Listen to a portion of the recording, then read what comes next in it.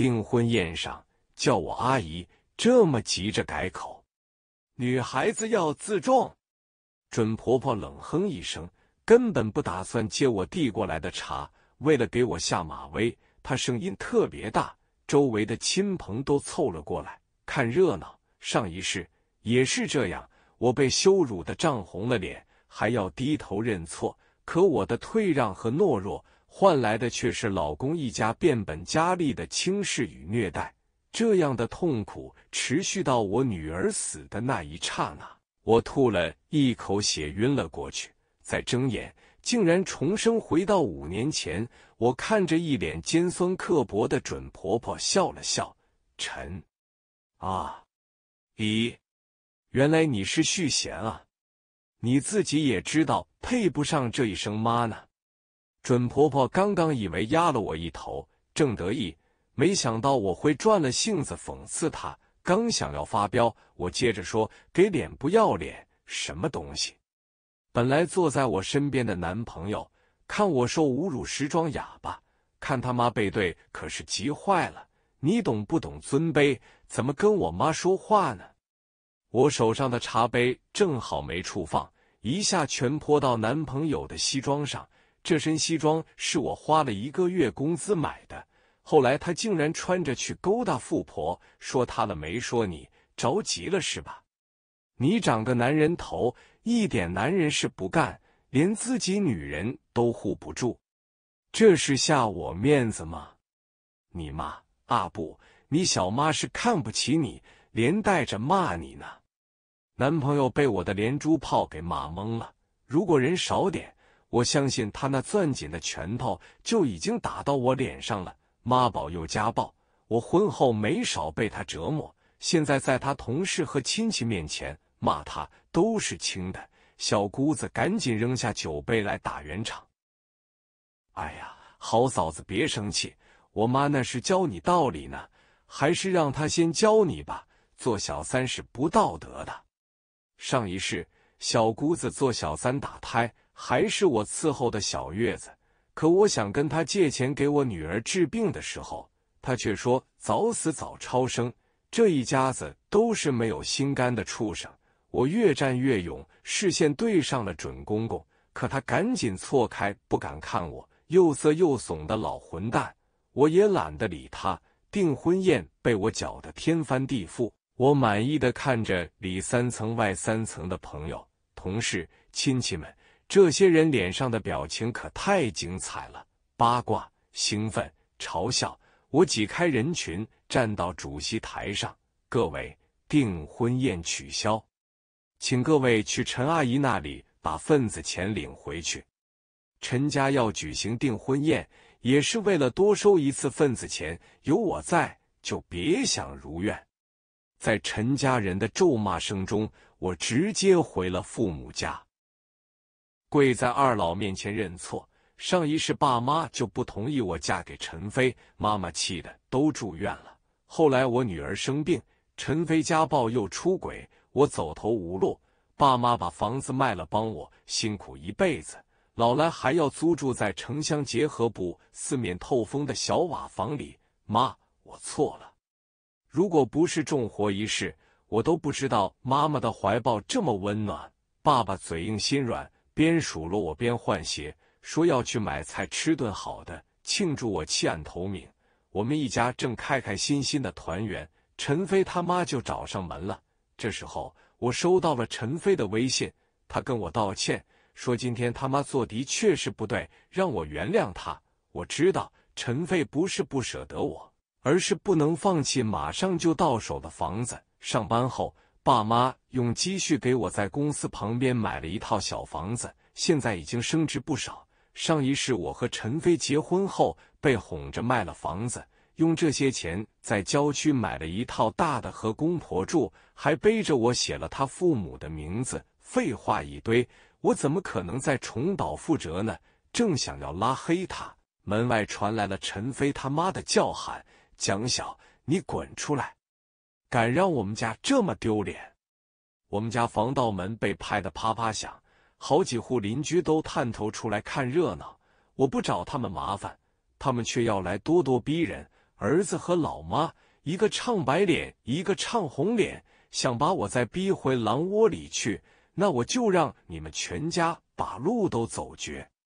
我爸妈都是老实人，没见过这种泼妇，不让我开门。爸妈放心吧，我能处理。我回想了一下上辈子的惨状，酝酿了些眼泪后，打开门。陈阿姨，婚姻自由，你别强迫我跟你儿子结婚了，行吗？我话软却手硬，抓着他胳膊就往死里掐。哎呀，疼死我了！你个小婊子！陈飞他妈更生气了，伪装不住的脏话满天飞，让邻居听了都连连摇头。还有挺多帮腔的，说看不惯他欺负我一个小姑娘。陈飞他妈看嘴上占不到便宜，一口牙咬碎，想嫁给我儿子，你也配？他可是研究生，你把今天酒席的尾款还给我，三万。终于说到重点了。我假装为难又惧怕他的样子，咬着嘴唇答应：“好，给我两天时间，我凑齐了就给你送过去。放心吧，我的恶婆婆，我不但送钱，还会给你送个大惊喜。”我跟爸妈借了三万块钱，爸妈生活节俭，这笔钱对于他们也不是小数目。但爸爸说不给钱，陈家不会放过我。只有我知道，这笔钱是送陈家人上西天的路费。我静静等待着两天后星期三的到来。这两天间，陈飞不断给我发微信，回忆我们以前恋爱的往事，说他对我怎么怎么好，我简直恶心的要吐了。见我还不愿意回头，他骄傲地说他考公面试以第一名成绩通过了，就等政审了。什么？上一世陈飞也考公了。但是面试却没有过，所以才去公司上班的。看来因为我的重生，也影响了其他人命运的轨迹，想上岸做你的春秋大梦。终于等到了周三，我早早就在陈飞家楼层内的消防通道等着。陈飞他妈每两周的周三上午都要去医院开高血压药，一来一回最少一个多小时。果然没多久。陈飞他妈就出门了，隔了都没五分钟，陈飞他爸就进了隔壁俏寡妇的门。听到房间里传来难耐的喘息声后，我火速跑下楼，拦住了陈飞他妈。阿姨，我来送钱。我把厚厚的信封递过去。哼，算你识相。陈飞他妈赶紧抢过去，吐着唾沫数完钱，转身就往回走。我就知道，这么多钱。他不放心随身带着的，肯定要放回家。家里的隔音又不好。哎呀！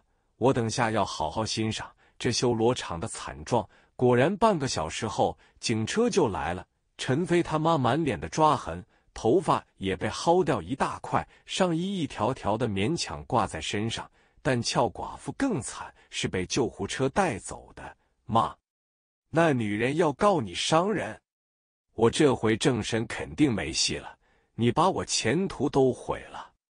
陈飞颓废的抓着头发，带着怨气的口水全都喷到了他妈脸上。陈飞他妈一听，吓坏了，但并不是怕儿子前途尽毁。那我会不会坐牢啊？妈妈年纪大了，我可不能坐牢。咱们赔钱吧。小姑子赶紧插嘴。家里哪有钱啊，嫂子，求你帮帮我们吧。妈妈坐牢，哥哥失业，都没见他着急。一提钱，他比谁都急。因为我不出钱的话，这个重男轻女的妈肯定又要压榨他了。呵，我冷眼看着这自私自利的一家人。不过我来警察局也不只是看热闹，更是为了让陈飞回归他的生命轨迹。我想想办法吧。我要让他们以为我真跟以前一样圣母心泛滥。毕竟上一世那个豪门阔太太还等着他去安慰呢。我托朋友找了个实习律师，经验捉襟见肘，就这样还因为犯了错，刚被事务所开除，简直是来配合我的天选律师。对我给出的低廉报酬，他十分满意。要说有什么不好，就是他尚未泯灭的职业道德还隐隐作祟。姐，我还是觉得不合适，毕竟是你前男友的妈，要这么搞吗？跟你说啊，拿人钱办人事就完了。在他第三次提起时，我终于不耐烦，当场把和律师费差不多的钱转给他。他眸子反光，马上接收，就当是封口费。他点头说：“这个我懂，没错，我确实费尽心思帮陈飞他们家找了个律师。不过，律师的任务是争取败诉。依我看，以陈飞他妈伤人的力道，加上这位律师的基本水平，正常发挥就可以达到目的了。总体来说，钱省下不少，剩下的还有其他用。”我给我妈一万块钱，让她帮个忙。事办成后，我妈异常兴奋，给我打了一晚上电话汇报情况。我妈敲开陈飞家对门，一眼认出伤还没好的寡妇。一进屋，我妈拉着那寡妇，像十年没见的小姐妹，坐进沙发聊起来，说起陈飞他妈，两个人同仇敌忾。俏寡妇从我妈嘴里得知，头一天陈飞他妈刚来我家门口辱骂。还敲诈走三万块钱，他还特地强调自己是背着女儿来的，只因为咽不下这口气。俏寡妇表示理解，委屈又涌上来。可惜我丈夫死得早，受了气都没人撑腰。听我妈学她说话，我叹了口气。她丈夫要是在，也不会为这种事替她撑腰。我妈叫我别打岔，说人家要不是丈夫没了，也不会做这事。我妈跟寡妇说，这次来是拜托她不要和解，一定要把陈飞他妈送进牢里为止。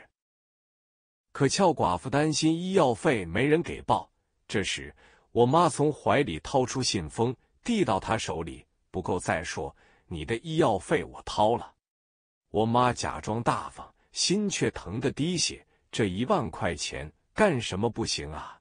好在我妈在犹豫，也认可这件事的重要。出色的完成了任务。寡妇虽然觉得不合适，但看我妈十分坚决，也想出一口恶气。事情就这样说定。我带律师到陈飞家时，没人不皱着眉头。小律师正了解情况，陈飞又急了，当着我们的面数落他爸，但不是什么晚节不保、不洁身自好，而是骂他爸笨，居然被现场捉奸。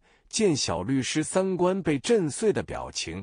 我微微一笑，他们家的烂事我都见怪不怪了。毕竟陈飞也是给富婆投怀送抱的人，对他来说，道德不在他的审视范围内。小姑子瞪了陈飞和他爸一眼，拉住我的胳膊：“多亏你了，这律师靠谱是吧？有资格证的，不然没法从业。专门托朋友找的。”我温吞的吐出每个字。扮演着柔弱的奉献角色，我一个字的谎都没撒。虽然动机是另一回事，小姑子点点头，怨他爸不争气，净丢人。我实在不想听，带小律师离开了。姐，你是明智的。我忽然发现自己做的事是这么有意义。我拍拍小律师的肩膀，孺子可教，事情跟预想的一样顺利。寡妇拿出各种证明，但就是不接受私了。也多亏我妈天天给他打电话拱火，小律师放放水，甚至一不小心站到对方立场说话。陈飞他妈更是神助攻，连句道歉也不说，认为应该是对方求他原谅，结果把自己送进了大牢。虽然时间不长，但足以让他见世面、吃苦头了。陈飞哭了。眼泪啪嗒啪嗒的流，不是为他的小妈，而是为自己的政审失败。我忍着恶心，手扶到他肩上，别难过了，也是天意。谁知道会发生这样的事情呢？除了我，你聪明能干，只要振作起来，没什么做不成的。你真这么认为？我点头，坚定的望着他。我知道他心里有个创业的种子。我要做的就是给他浇水，让他发芽。毕竟只有创业，才能遇见那个富婆。陈飞一直是这么个人，野心大，但胆子小。做事沉不下心，总盼着一夜暴富。一个月里，我天天跑到陈飞身边陪他，从他彻底无缘公务员到渐渐振作精神，都是你的功劳。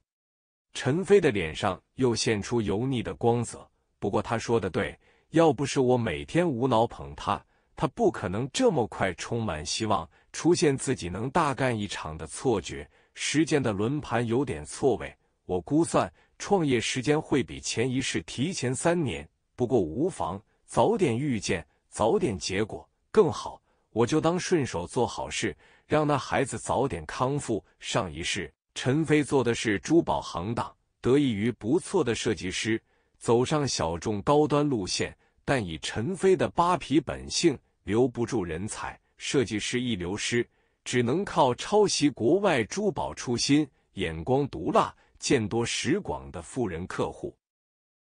最受不了东施效颦，果断舍弃。不过那会，陈飞已经勾搭上了富婆，心也不放在创业上了。只要能暴富，方式对他可没什么区别。我根据前世的回忆，提供陈飞珠宝设计创意，他动心了。只不过命运的齿轮里好像卡了个石子，出现了随机事件。一天，陈飞兴奋地说：“他遇见个人。”和自己一拍即合，决定进军室内家装设计领域。什么？我差点喊出来。我压住满脸问号，咬着牙说：“好样的！遇见富婆的路径，看来要变个路数，这是在考验我。”我来到富婆家附近，看着她的三层小洋楼，豪华的没有装修的余地。前一世她出轨，我俩闹离婚，她带我来到这，让我做她情人。真想啐上一口，还真不行。富婆从不远处款款走来，旁边是保姆，手推着婴儿车。我若无其事，迎着他们走去。我们擦肩而过，然而身后转来质问：“你刚才在我家附近看什么呢？”富婆双手在胸前交叉，她富态，个子又高，气势上就赢了。这是您家？对不起。我是学装修设计的，最近准备创业，看这里装修的最好，所以多学习了下。我表现出学生的谦卑，他脸上倒有一丝自豪，嘴角向上翘起几度。这要巧呢，正说给孩子弄间婴儿房呢。保姆接过了话茬：“行了。”富婆翻了个白眼，保姆立马闭嘴陪笑。可这个好消息。我是不会轻易放过的。只是我快步走到婴儿车前，推车里的那个孩子太像我上一世的女儿了，眉眼、鼻子、头发的颜色都像。我一时有些糊涂，鼻头发酸。这是你家孩子？是男孩。对，大胖小子。保姆喜笑颜开，他知道这么说能博女主人开心。突然，小孩哭起来，我如惊醒一般。他确实不是我的孩子，他的声音和哭起来的模样是完全不同的。走了，走了。保姆抱起孩子，富婆催促他远离我这个吓哭他儿子的人。我让到一旁看他们经过。回去之后，我跟陈飞说，围绕儿童房的家装设计还有市场缺口，而且盈利空间很大。他却犯了难，说最近筹备公司需要很多钱。不用他说，我也知道，和上一世一样。他琢磨怎么从我这拿钱，看他支支吾吾的不痛快。我干脆替他说了：“你的钱不够，需要我帮你吗？”他连说不合适，哪有跟女人要钱的？但笑的眼角挤出三道纹。我嗔怪他见外，假装伤心。别过头去！他马上拉着我的手，激动起来。当时订婚闹出那样的事，我才不敢提钱的事。那你还愿意嫁给我吗？我垂着眼望向地面，羞涩地点点头。他搓着手，连说三遍：“太好了！”当然不是娶我太好了，而是娶我之后可以骗我卖房，卖房的钱可就成了夫妻共同财产。上一世。他骗走我全部的钱，买了新房，但房本写了他爸妈的名字。我知道陈飞急着用钱，所以他问我什么时候能结婚。我假装想了想，结婚有很多要准备的，慢慢来，不急。他双手还在揉搓，好像沾了什么脏东西。你还需要多少钱？一百万。可我也拿不出这么多钱啊！你父母不是给你在公司附近买了房子？陈飞真是一点钓鱼的耐心都没有，急着说出真实想法。他又解释自己并没别的意思，只是偶然想到，如果我不愿意，就当他什么都没说。这是大事，我得回去商量商量。这不是给你买的房子吗？你也知道，你爸妈不喜欢我，他希望我能一个人拿了主意。他又说，我们就要结婚了，他创业成功。富裕的是我们两个，这些钱只是小钱，以后想买多少套房子都可以。陈飞还挺会画大饼，或许是我给他的鼓励太过头了。我也是因为真的爱你才说这些话。你会不会变心？不会，不然我要怎么证明？我想尽快娶你。终于说到正题了，咱们婚前体检吧。什么意思？上一世他全家要求我婚前体检，怕我有什么问题，我也因此拿到他的体检报告，知道他的各种配型，和富婆患肾病的儿子一样。可那已经太晚了。我告诉陈飞，自己骨子里是传统的女人，希望结婚之后生养孩子，而他可以在外闯荡，而婚前体检。就是我的定心符，马上功成名就。家里还有个相夫教子的傻老婆，陈飞还能想到比这更好的事吗？他立刻点点头。作为交换，陈飞提醒我别忘了考虑卖房的事。体检报告拿到手里，我踏实了。我选了最全最贵的体检项目，里面的数据将来都用得到。以上一世的时间表来看。那小孩要过几个月才开始患肾病，一年后逐渐肾衰竭，那时候他就要等待换肾了。陈飞，我帮你做你能做的唯一好事吧。我还是和父母商量了，他们像发了疯，说我要卖房，他们就自杀。这当然是假的，我怎么可能还想卖房？陈飞相当失望，发了一顿火，顺便用脏话问候我爸妈。我压下愤怒。等他说完，结婚之后应该没问题，现在还不行。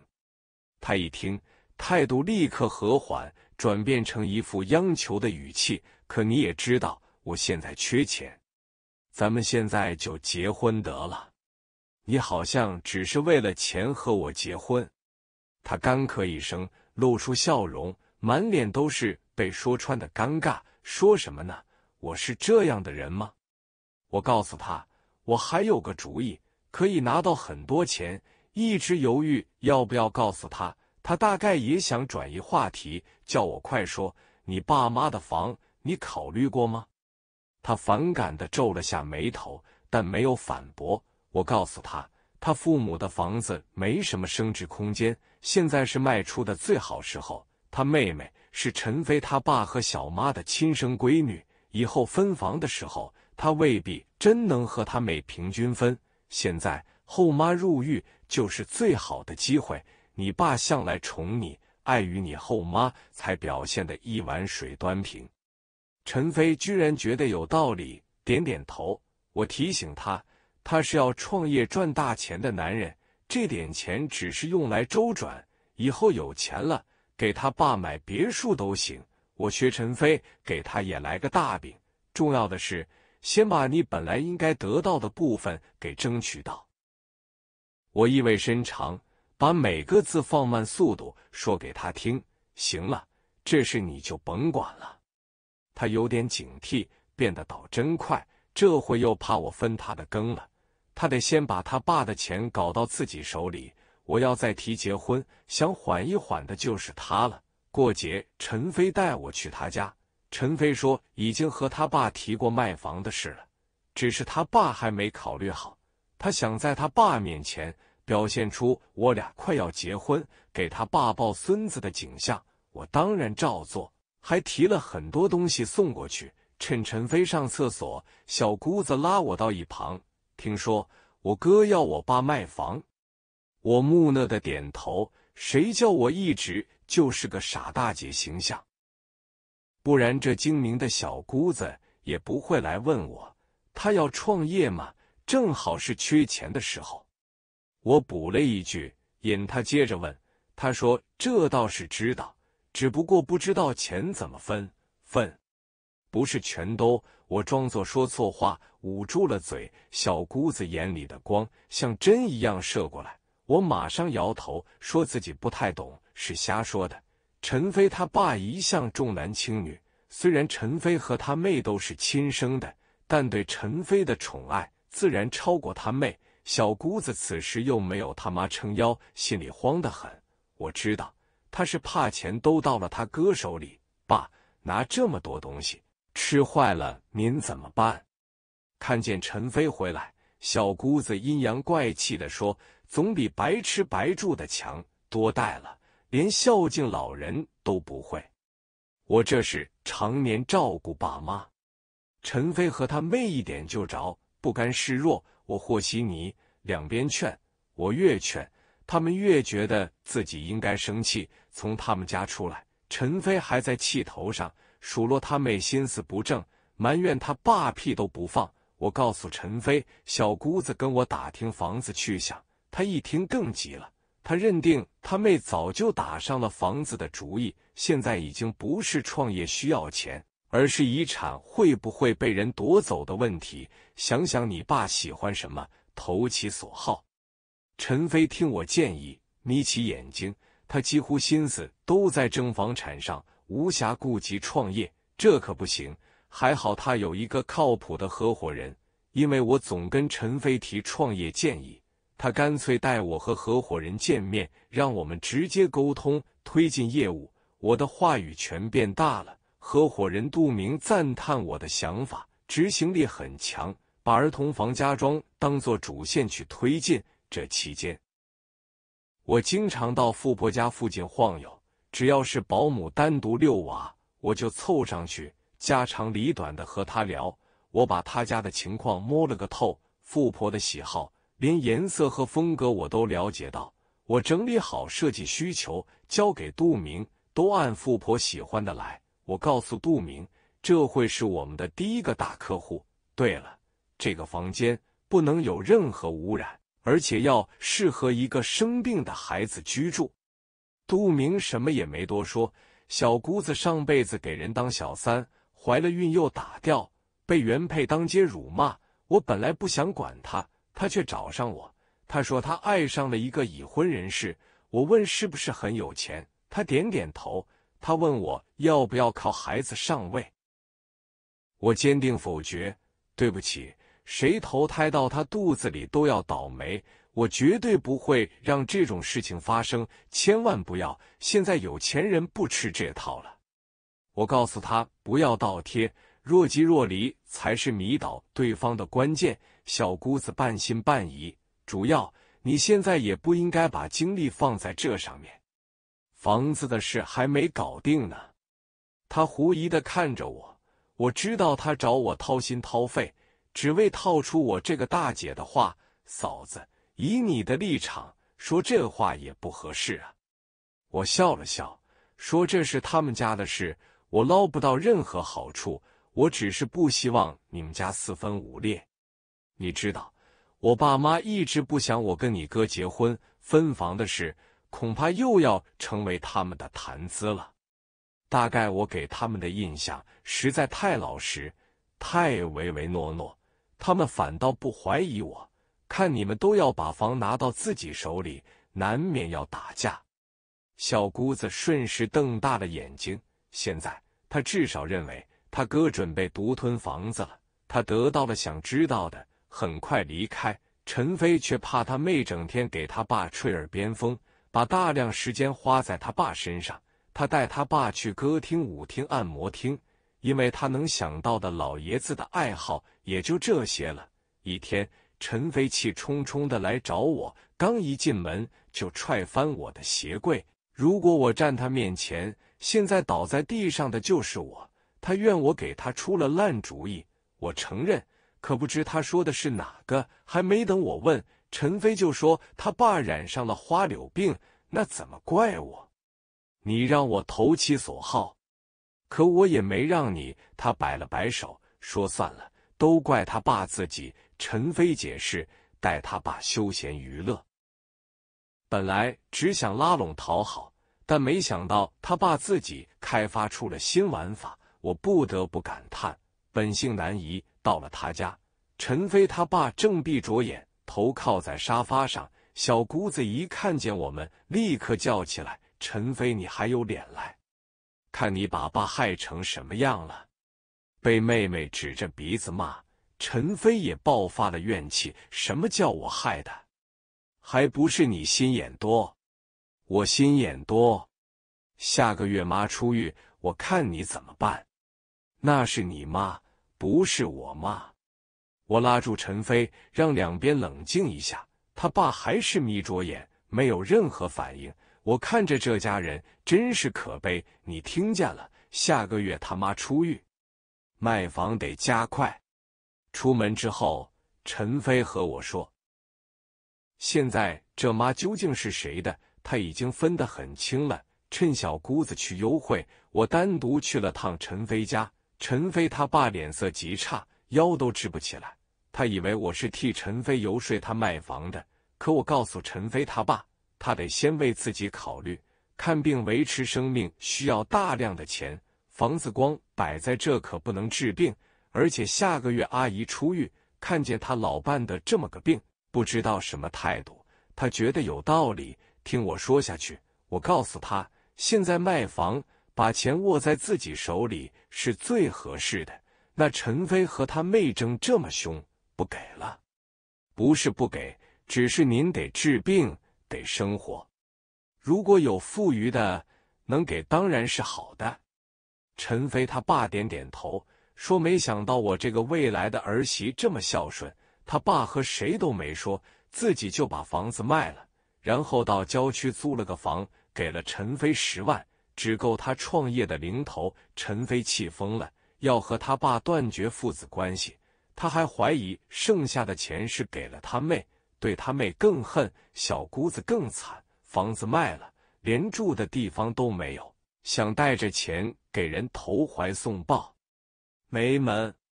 陈飞说的是他妹给人当小三，分了房钱，跑到有钱人那去了。他联系上这男人的原配。告诉他有人给他戴绿帽子，陈飞指的当然是他妹。等我妹来求我，我就让他把私吞的钱先还我。我冷眼旁观他们家的闹剧，小姑子被原配发现，再现了他妈和寡妇间的大战。只不过这次被打的是小姑子，原配彪悍，直接在小姑子脸上留了疤。有钱人看情况不妙，花钱摆平。回到原配身边，小姑子人和钱都没得到，怎么样？让你别给人当小三，哥哥的话不听。我和陈飞去医院，他幸灾乐祸，完全不像探视病人。小姑子头上还缠着绷带，脸色灰白。他还不知道自己这副样子就是拜他哥所赐。爸不是给了你很多钱，你还专程来笑话我？你别给我装了。钱都到你手里了，兄妹两个都觉得对方拿了更多的钱，而真实情况只有陈飞他爸知道了。可惜他们谁也不会信他的话。富婆家的儿童室内设计图做好了，我又让人改了不下十遍。我对这间房的执着已经超过了它的使用功能。想到那可怜的孩子要受这样的罪，我心里愈发不好受。我才明白。我是想给那个孩子一个最好的环境。我把上一世对女儿的遗憾投射到这个小家伙上。虽然上辈子陈飞到了富婆身边，我这样的做法显得有些可笑。可是见了那孩子，我就忘了什么恩怨，那是陈飞自己的问题。所以，当我拿出设计图给富婆看时，她惊讶的合不上嘴。那时候，她的孩子刚刚查出生病。也是她最憔悴的时候。她不知道她的儿子还能活多久，只想给他一个王国，一片天地。而这张图里展示的是他最理想的乐园。我告诉他设计的理念，他说这简直就像专门为他准备的。